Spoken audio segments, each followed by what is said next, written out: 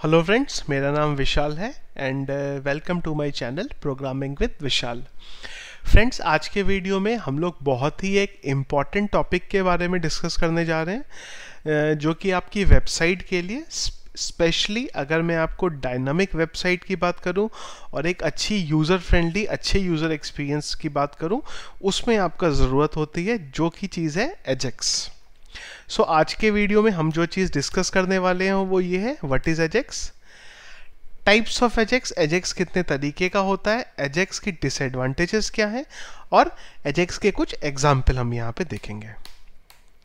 सो so, यहाँ पे सबसे पहले हम चलते हैं कि what is AJAX so AJAX stand for asynchronous JavaScript and XML so so, यहाँ पे जो एजेक्स का फुल फॉर्म होता है वो होता है asynchronous JavaScript and XML AJAX AJAX is a user experience so friends देखिए क्या है कि आज की डेट में uh, 2019 में है हम अभी। सो so, आज की डेट में जो वेबसाइट हैं वो एक वेबसाइट बनाना इंपॉर्टेंट नहीं है। हमारे लिए इंपॉर्टेंट है एक अच्छे यूज़र एक्सपीरियंस के साथ वेबसाइट को बनाना। आपने अगर एक वेबसाइट बनाई और वो यूज़र फ्रेंडली नहीं है उसमें यूज़र एक्सपीरियंस जो है वो अच्छा नहीं है तो क्या होगा जो आपके विजिटर हैं या फिर जो आपके यूज़र हैं वो वापस चले जाएँगे वो दोबारा आपकी वेबसाइट पे नहीं आएँगे। सो so, यहाँ पे अच्छे यूज़र एक्सपीरियंस की जब मैं बात करूँ तो आपके पास आपके पास अगर आप एग्ज़ाम्पल की बात करें तो आप फेसबुक देख सकते हैं। देखिए क्या होता है फेसबुक में जब भी आप कोई पोस्ट देखते हैं तो आपको पोस्ट के साथ एक लाइक करने का ऑप्शन मिलता है। अब देखिए, जैसे ही आप लाइक पे क्लिक करते हैं तो क्या होता है? कि आपका पेज रीलोड हो जाता है। अब आप एज्यूम करिए कि आप फेसबुक पे हैं और आपने आपका जो वॉल है, वहाँ पे आप स्क्रॉल करते करते करते करते नीचे आए और आपने एक पेज के लाइक पे क्लिक किया। अब क्या होगा? जैसे ही आपने आपके पेज पे लाइक पे क्लिक किया तो आपका लाइक तो बढ़ गया और आपका पेज रीलोड हो गया। अब होगा क्या? रीलोड होने के बाद तो आपको खुद नहीं पता चलेगा आप कहाँ पे थे। तो वहाँ पे ऑल्टरनेट आ जाता है एक तरीके से एजेक्स जैसे ही आप एजेक्स के थ्रू लाइक के बटन पे क्लिक करते हैं तो क्या होता है? आप वहीं रहते हैं बस आपका लाइक का जो काउंट है वो बढ़ जाता है। सो so, क्या होता है यहाँ पे? एजेक्स की हेल्प से आप सर्वर के साइड का सर्वर के साथ कम्युनिकेट करते हैं विदाउट पेज रीलोड आपका पेज रीलोड नहीं होता और आप सर्वर के साथ कम्युनिकेट भी कर पाते हैं। सो so, इस चीज़ के लिए हम लोग एजेक्स का यूज़ करते हैं। अगर आप बात करें टाइप्स ऑफ़ एजेक्स की कितने तरीके का एजेक्स होता है तो एजेक्स दो तरीके का होता है असिंक्रोनस एजेक्स और synchronous AJAX asynchronous AJAX basically आपको ये बोलता है कि मैं एक किसी पे भी डिपेंडेंट नहीं हूँ। जब आप असिंक्रोनस एजेक्स को कॉल करते हैं तो अगर आपने दो चीज़ें बनाई हैं अब आप लेट से इसको एग्ज़ाम्पल आप मान के चलिए कि आप एक दुकान पे गए। आ, वो दुकान पे आप कुछ सामान लेने गए। अब देखिए, जब आप किसी दुकान पे सामान लेने जाते हैं तो क्या होता है? हो सकता है कि आपसे पहले भी वहाँ पे कोई कस्टमर खड़ा हुआ हो। तो इस केस में दो सिनेरियो हो सकते हैं। पहला तो ये हो सकता है कि आपको उनका आपको वेट करना पड़ेगा जब तक जो पहले से लोग आए हुए हैं वो अपना सामान ले नहीं लेते। सेकंड चीज़ क्या है कि जो शॉपकीपर है वो आपके साथ भी कम्युनिकेट कर रहा है और उनके साथ भी कम्युनिकेट कर रहा है।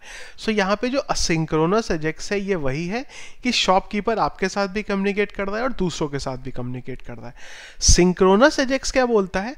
जब तक वो शॉपकीपर एक जने का पूरा काम खत्म नहीं कर देता उसे सामान नहीं देते दे देता तब तक वो दूसरे वाले पे नहीं आएगा। सो so, ये तरीके से हमारा सिंक्रोनस और असिंक्रोनस एजेक्स चलता है। अभी मैं आपको एग्ज़ाम्पल भी इसका बताऊँगा वहाँ पे आपका जो डाउट है वो क्लियर हो जाएगा। डिसएडवांटेजेस क्या है एजेक्स की? सो so, देखिए फ्रेंड्स क्या होता है? मैंने आपको क्या बोला कि आपका एजेक्स केज में पेज रीलोड नहीं होता। जब आपका पेज रीलोड नहीं होगा तो आपके यू नहीं बनेंगे। जब आपके यू नहीं बनेंगे तो ये एस e के केस में कई बार एक डिसएडवांटेजेस हो जाती है। एक्सेसिव ज़्यादा एजेक्स यूज़ करना। एजेक्स की अगर एग्ज़ाम्पल की बात करें तो मैंने अभी आपको फेसबुक का एग्ज़ाम्पल दिया है। इसके अलावा कंट्री स्टेट सिटी एक ड्रॉप डाउन है, वो भी आपके सामने एग्ज़ाम्पल है। देखिए, क्या मतलब हुआ यहाँ पे कि एक कंट्री है, आप जब कंट्री को सिलेक्ट करते हैं तो उसके करस्पॉन्डेंस स्टेट आ जाएँगे। स्टेट को सिलेक्ट करेंगे तो उसके करस्पॉन्डेंस सिटी आ जाएँगी। दोनों केस में क्या होगा, जो आपका पेज है वो रीलोड नहीं होगा। सो so, यहाँ पे मैं आपको ये बताना चाह रहा हूँ। सो फ्रेंड्स अभी हम एक काम करते हैं। अभी हम लोग प्रैक्टिकल चल प्रैक्टिकल में चलते हैं और थोड़ा सा इसको समझते हैं यहाँ पे। सो so, फ्रेंड्स मैंने ऑलरेडी यहाँ पे एक पीएचपी का फ़ाइल बना लिया हुआ है। अभी फ्रेंड्स एजेक्स को यूज़ करने के दो तरीके हैं। या तो आप ट्रेडिशनल एजेक्स जावास्क्रिप्ट है उसको यूज़ करें या फिर आप जे क्वेरी को भी यूज़ कर सकते हैं एजेक्स के लिए। सो so, मैं आपको यहाँ पे जे क्वेरी के थ्रू एजेक्स को यूज़ करने के बारे में बता रहा हूँ। सो so, उसके लिए हमें पहले जे क्वेरी को इंक्लूड करना पड़ेगा। तो मैं उसके लिए लिख देता हूँ jQuery C D N हम एक सी डी एन लिंक उठा लेते हैं जे क्वेरी का यहाँ से मैं मिनीफाइड ले लेता हूँ जे क्वेरी और इसे बंद कर देते हैं।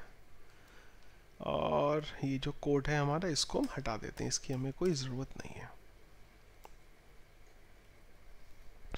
सो so फ्रेंड्स आपके सामने यहाँ पे जे क्वेरी को हमने इंक्लूड करा लिया। अभी देखिए हम यहाँ पे क्या करते हैं, एक हाइपरलिंक बना लेते हैं। यहाँ पे एक हाइपरलिंक बना लिया और इस पर हमने कर दिया click hair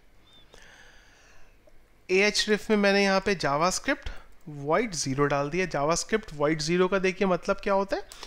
JavaScript white zero का मतलब हम ये बताना चाहते हैं कि यहाँ पे हमें लिंक जैसा इफ़ेक्ट मिले, लेकिन क्लिक करने पे ये कहीं रीडायरेक्ट ना हो।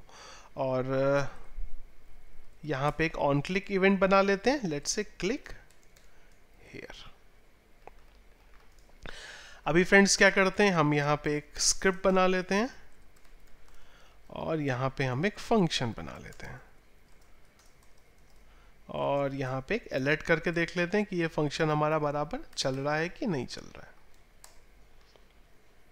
परफेक्ट चल रहा है।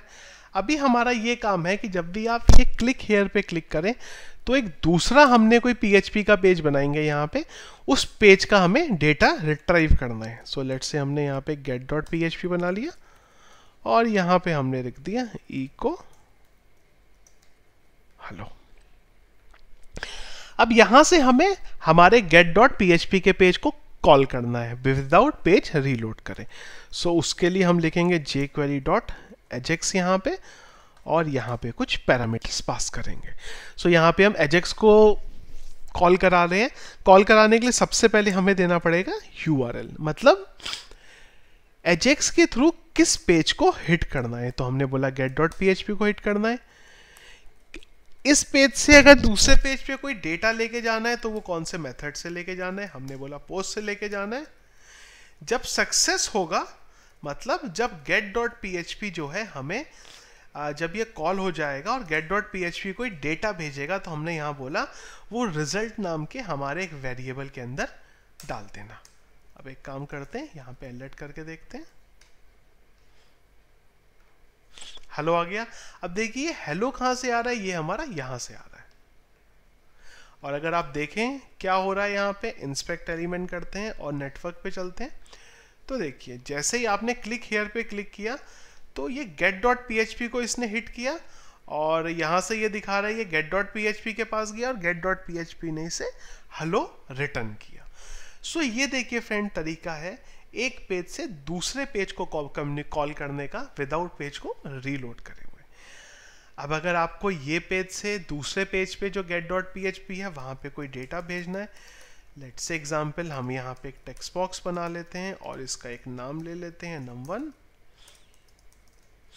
और यहाँ से हम ये नम वन की वैल्यू ले लेते हैं num one is equal to jQuery यहाँ पे हमने बोल दिया नम वन डॉट वैल्यू अब ये जो नम वन आया, इसको हम कहाँ पास कर, किसके पास भेजेंगे? गेट डॉट पीएचपी के पास। उसके लिए हमें यहाँ पे एक वेरिएबल लेना पड़ेगा और यहाँ से इसे कम्युनिकेट करना पड़ेगा। अब ये जो डेटा से गेट डॉट पीएचपी के पास जाएगा, नम वन को लेके। अब अगर आप यहाँ पे जाएँ और यहाँ पे लिख दें print underscore R dollar underscore post क्योंकि आपने जो डेटा है वो पोस्ट के थ्रू भेजा है। इसको हम अगर भेजें, हे और क्लिक हेयर करें। तो देखिए क्या हुआ? नम वन को कुछ ही अनडिफाइन मिला, ये क्यों मिला? नम वन एक सेकेंड अनडिफाइन हमने बोला num one dot well actually ये आईडी होनी चाहिए थी नम नम नेम नहीं होना चाहिए था। रीलोड कर लेते हैं। हे क्लिक हेयर देखिए नम वन के अंदर हे आ गया। अगर आप यहाँ जाएँ कंसोल में जाएँ तो देखिए आपको क्या मिला? यहाँ पे आपको मिला कि एक डेटा ट्रांसफ़र हुआ है नम वन जिसकी वैल्यू हे है, वो जा रही है get dot P H P के पास और गेट डॉट पीएचपी ने ये चीज़ रिटर्न की है। अब देखिए, अगर आप यहाँ जाएँ और अगर आप इको करा दें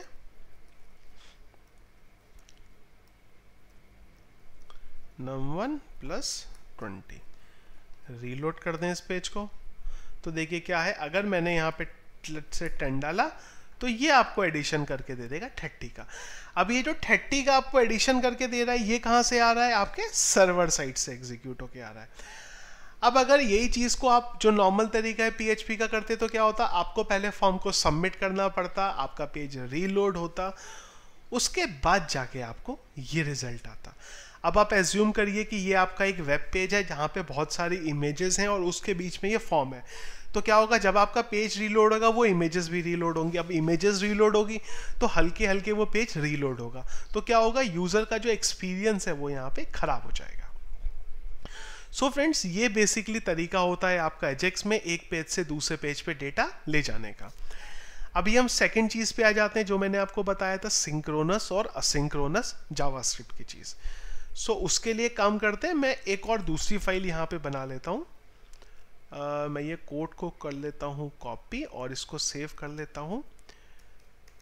Types underscore H X dot P H P से। ये कोड मैं सब यहाँ पे हटा देता हूँ। वैल्यू कुछ हम नहीं भेज रहे हैं। डेटा भेज इसको हटा देते हैं, अलर्ट कर देते हैं और इससे गेट वन कर देते हैं। तो लेट से इसको कर देते हैं हिट वन। गेट वन और इसी की एक कॉपी बना लेते हैं। इसको कर देते हैं हिट टू और इसको भेज देते हैं गेट टू के पे टू पे। ठीक है फ्रेंड्स अभी क्विकली हम एक काम करते हैं, ये जो इसी की एक कॉपी बना लेते हैं गेट वन और गेट वन में हम यहाँ पे डाल देते हैं गेट वन और गेट वन की एक और कॉपी बना लेता हूँ मैं गेट टू नाम से। और इसको हम टू कर देते हैं। हम इधर आ जाते हैं और ये गेट टू कर देते हैं। सो so फ्रेंड्स हमने क्या किया? दो एजेक्स के, दो यहाँ पे फ़ंक्शन बनाए। एक से हमने गेट वन को कॉल किया और एक से हमने गेट टू को कॉल किया। अब देखिए क्या होता है।